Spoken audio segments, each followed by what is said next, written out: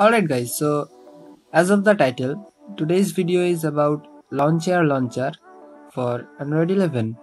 Now you might know that Lawnchair had no hope of coming back to Android 11 because of their lead dev uh, till Tim Cotman uh, quitting the job but yeah it's now present in alpha stage.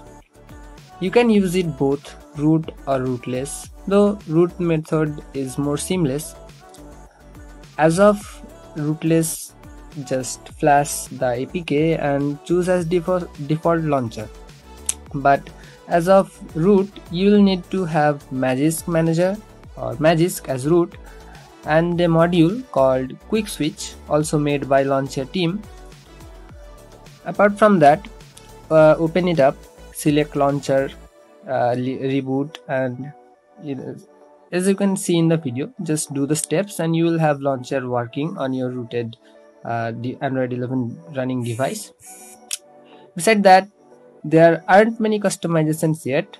Some dock customizations home screen app drawer all the basic customizations are present as of now. And there might be some crashes as it is in alpha stage so have to bear with it until it gets to stable stage. And yeah i guess that's pretty much it.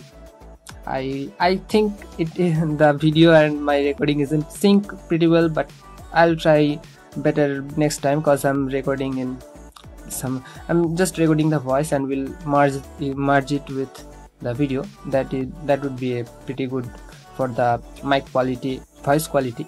So yeah that's pretty much it. I'll catch you guys in the next video. Peace